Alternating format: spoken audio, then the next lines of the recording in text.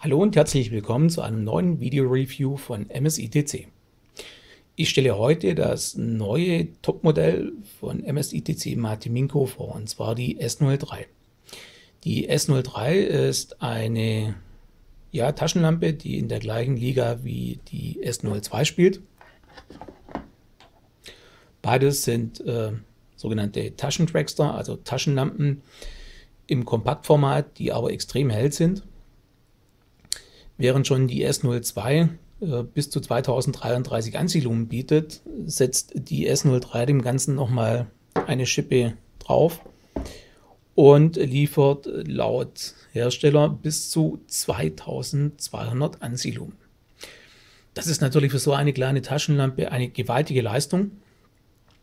Und ich wiederhole das, was ich in meinem Review zur S02 schon gesagt habe, nämlich dass um diese Leistung zu erzielen auch entsprechende Akkus notwendig sind. Sprich, auch hier gilt wieder, ich wiederhole mich, hochwertige Akkus verwenden, die auch die entsprechenden Ströme liefern können. Und auch hier gilt wieder ganz klar, ich empfehle unsere Schockli-Akkus, denn die sind damit getestet. Und diese Kombination kann ich auch wirklich vorbehaltlos und bedenkenlos unseren Kunden empfehlen. Wie es mit billigen Akkus aussieht, kann und will ich nicht beurteilen, interessiert mich ehrlich gesagt auch nicht, denn ähm, ich teste die Lampe nicht mit jedem Akku dieser Welt. Von daher gibt es äh, eine klare Empfehlung und äh, ja, okay. Zur Lampe selber. Sie fällt einen Tick größer aus, vor allem im Kopfbereich, wie die S02. Wenn man genau hinschaut, kann man erkennen, dass ja die S03 einen etwas größeren Durchmesser hat. Auch viel macht es allerdings nicht aus. Okay, genauso wie die S02 lässt sich auch die S03 umbauen. Ein entsprechender Adapter ist im Lieferumfang enthalten.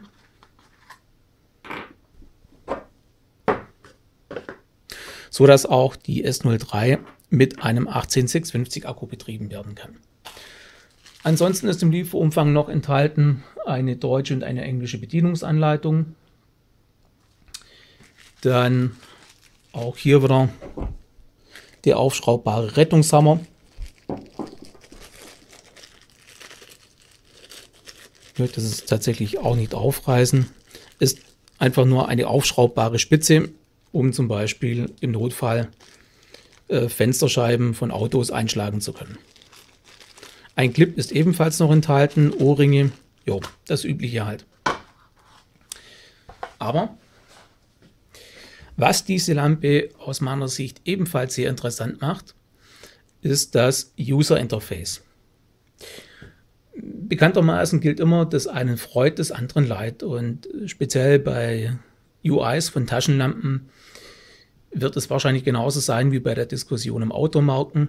Der eine bevorzugt BMW, der andere bevorzugt Mercedes und der dritte Audi. Aber man wird wahrscheinlich nie alles äh, auf einen gemeinsamen Nenner bringen können. Insofern hat der Hersteller mit der S03 eine gute Lösung auf den Markt gebracht, wie ich finde, nämlich die MSITC Matiminco S03 vereint im Prinzip zwei User Interfaces in sich. Zum einen ein reguläres oder ein, wie auch schon von der S02 bekannt ist, mit dem sich die einzelnen Modi durch Drücken des Seitenschalters umschalten lassen. Es gibt aber auch ein User Interface, das sich bei vielen Anwendern in letzter Zeit zunehmender Beliebtheit erfreut und das ist das sogenannte Narsil M Interface. Narsil M ist im Prinzip eine ja, wie erkläre ich es am besten, eine, eine Art Open Source Betriebssystem für Taschenlampen, also sprich ein Treiber für, für die Elektronik und regelt die Art und Weise, wie eine Taschenlampe bedient werden kann. Ist jetzt zwar vielleicht nicht die perfekte Erklärung, aber ich glaube, so kann man sich das ganz gut vorstellen. Das bedeutet auch, dass diese Lampe, wenn sie, so wird sie zumindest äh, aus der Fabrik geliefert, ähm, sie verwendet defaultmäßig Narsil M Und das bedeutet auch, sie verfügt über ein sogenanntes Ramping. Das heißt, ich kann durch Drücken des Seitenschalters und gedrückt halten die Helligkeit der Lampe schnell hoch und runter regeln.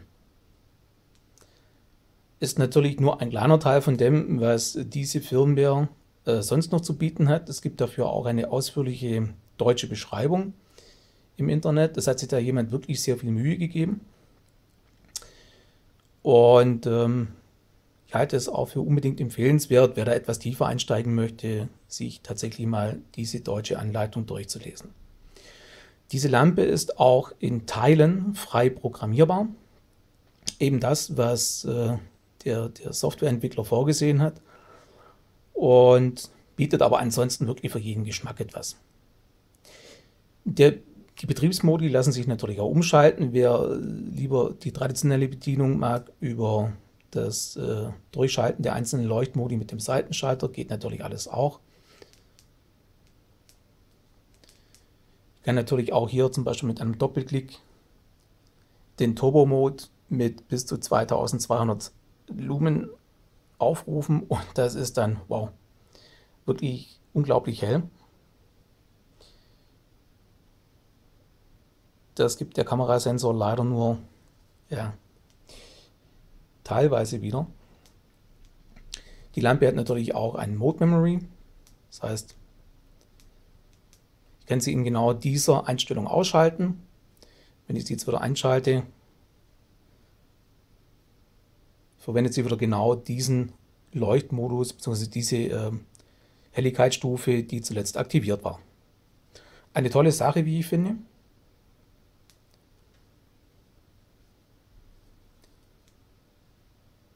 Einfach bedienbar. Und ähm, ja,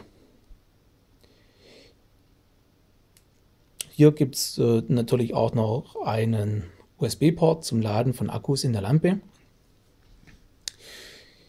Was man natürlich äh, wissen muss, oder beziehungsweise ganz klar, ähm, auch diese Lampe kann die Gesetze der Physik nicht umgehen. Wenn man äh, Taschenlampen in diesem Format oder speziell in diesem Format längere Zeit in der höchsten Leuchtstufe im Turbo-Mode betreibt, dann werden solche Lampen natürlich sehr heiß. Da wird man, wenn es die Lampe nicht von sich aus tut, dann schon freiwillig selber herunterregeln, um sich nicht die Finger zu verbrennen. Das ist aber kein technisches Problem, sondern das ist eine normale physikalische Gegebenheit. So, jetzt möchte ich nur kurz die S03 im Betrieb mit einem 18350 Akku zeigen.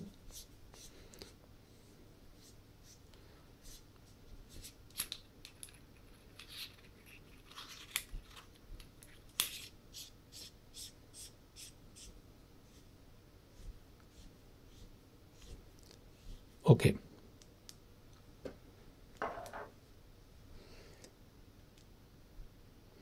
Auch hier gilt natürlich wieder, gilt wieder dasselbe. Seitenschalter gedrückt halten und dann rammt die Lampe hoch und runter.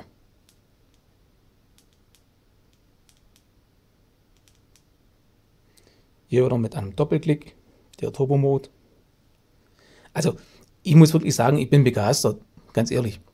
Was diese kleinen Lampen hier an, an Leistung raushauen, ist wirklich, wow, beachtlich. Hier zum Vergleich nochmal die S03 mit der S02. Man sieht, dass die S02 ein Tick kompakter ist.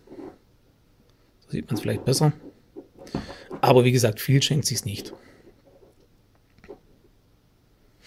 Auch die S03 ist qualitativ äh, wirklich sehr gut gemacht, äh, toll verarbeitet. Da gibt es wirklich nichts, ähm, hier Fehler in der Anodisierung oder sonst irgendwas. Also mir gefällt sie sehr gut. Hier hinten lässt sich übrigens noch ein Lanyard anbringen, wer das mag. Man sieht auch hier noch die etwas äh, zahlreicher vorhandenen Kühlrippen im Vergleich zur S02. Und vielleicht noch zum Abschluss ein Vergleich mit einer noch kleineren Lampe. auch eine meiner bevorzugten EDC-Taschenlampe und Taschenlampen, und zwar die Incendio V3X von Luma Power, die noch etwas kleiner und kompakter ist, aber dafür eben auch keine 2000 Lumen erzeugen kann. Gut, wie auch immer. Ich hoffe, mein Video-Review war informativ und ja, in diesem Fall oder in diesem Sinne bis zum nächsten Mal. Tschüss.